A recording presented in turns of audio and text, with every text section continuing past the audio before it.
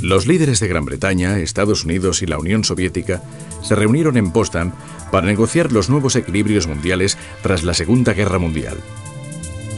La esperanza de una paz duradera se resquebrajó en la posguerra con la consolidación de dos bloques enfrentados que se agrupaban en torno a la Unión Soviética y Estados Unidos respectivamente.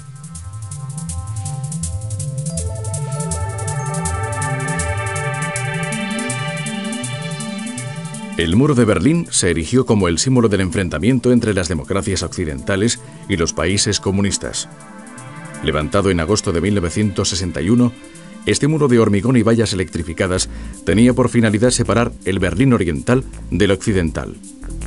La carrera armamentista fue una de las consecuencias de la tensión entre los dos bloques. Tanto los países occidentales como las naciones de Europa Oriental se lanzaron a la producción de armas cada vez más sofisticadas con finalidades disuasorias.